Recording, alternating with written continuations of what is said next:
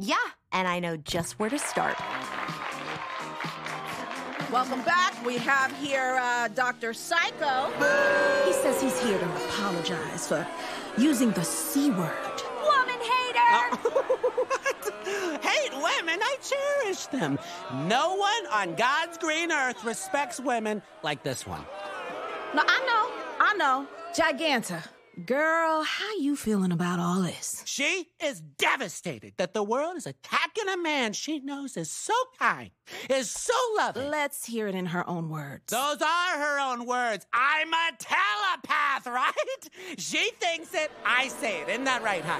She said right. She did not say right. Did y'all hear her say right? she was talking to me! Mm-hmm. An individual person who exists get. A person who, for years, you mind controlled Don't do this. into thinking they loved not you. do this. A person who is leaving you! Why you get back here, you miserable?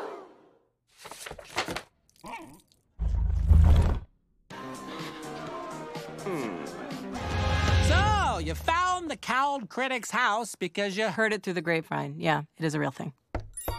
Oh, shit! It's you! Of course it's you! Who's she? My ex-wife! Why are you at my boyfriend's house? Quick sidebar. How did this work sexually? Not great! Oh, I should have called this. I know you're the cowled critic. You gave that review saying me and Chickweed here are a couple. You think I care about you and your jolly green whore? Okay, I'm standing right here. I don't have time to give some review.